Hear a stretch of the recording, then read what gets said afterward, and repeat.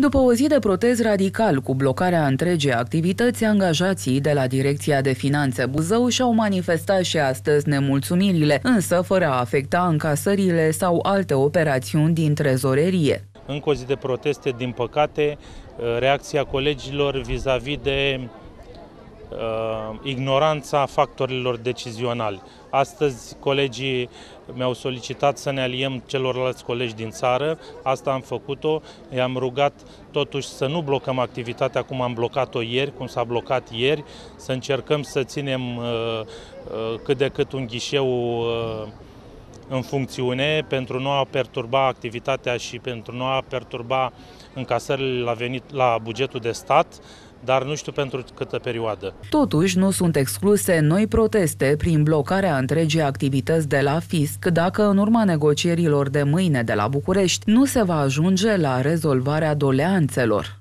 Sperăm ca la întâlnirea de mâine cu domnul ministru să ni se asculte doleanțele, să înțeleagă că noi nu dorim majorări salariale, noi dorim să nu pierdem la salariu.